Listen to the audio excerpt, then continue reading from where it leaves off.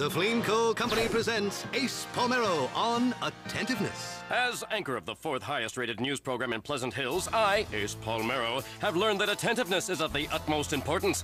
Turn to camera one. In a high pressure job like mine, you also have to keep on your toes. Put hand in pocket and smile at camera two. If you're not attentive, you'll miss important details. You idiot Ace, get someone else to do your stupid cue cards. This has been Ace Palmero on Attentiveness. And now, the Fleemco Company presents Dick Daring on Safety. Hey kids, the stunts you see me do, don't try these stunts at home. Or in this case, on a drawbridge. Or in a packed stadium. Or just about anywhere.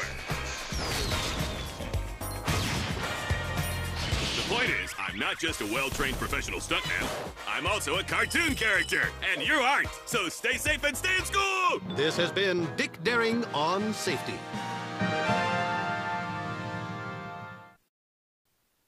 The Fleemco Company presents Tasumi on Composure.